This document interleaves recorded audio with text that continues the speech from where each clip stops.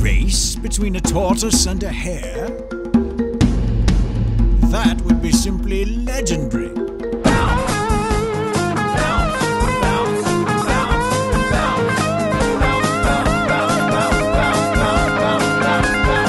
Tortoise and Hare now playing at the Long Center. Get your tickets before the race is over.